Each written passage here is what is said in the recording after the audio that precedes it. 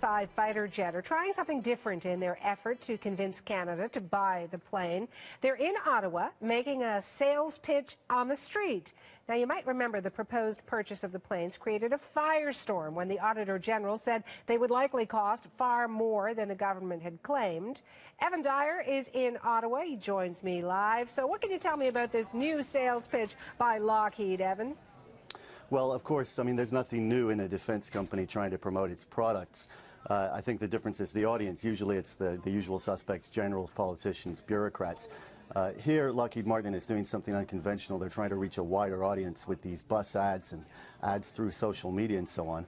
And of course, the reason is because the, the F-35 brand is politically damaged in Canada by that Auditor General's report uh, and by revelations about cost.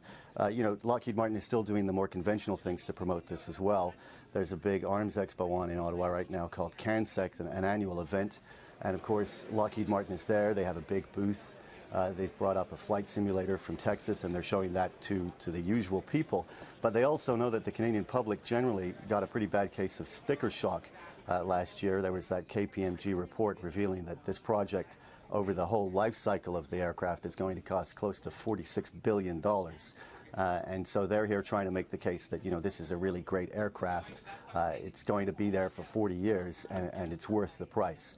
Uh, let's listen to the Vice President of Lockheed Martin, Steve O'Bryan, who's here in Ottawa trying to make that case. I, I think a fighter decision is, is a big backbone of anyone's national security. So to make that decision, I, I think you need to be educated and the whole country educated on what's the best aircraft to meet the Canadian sovereign requirements. We believe that to be the F-35, and we're trying to dispel any misinformation or myths that are out there today. Now, Evan, the government hit the reset button buying those F-35s. Where does the issue stand now? Well, that's right. By hitting the reset button, they officially go back to scratch. And now they're supposed to go through a seven-step process, and it's supposed to be uh, more, thorough than the orig original selection process and also more transparent. Uh, but at the same time, Canada is still an official partner nation uh, in the F-35 project, one of nine. Uh, there are still Canadian military personnel working on this, and Canada has already kicked in uh, about a third of a billion dollars to this project. The price estimates for the F-35, by the way, remain all over the place. So we're getting different numbers from Lockheed Martin, who told me uh, yesterday 75 million a unit. Uh, different numbers come from the Pentagon, from the Government Accountability Office in the U.S., our own Parliamentary Budget Office, independent auditors. It's very difficult to nail down what this will actually cost.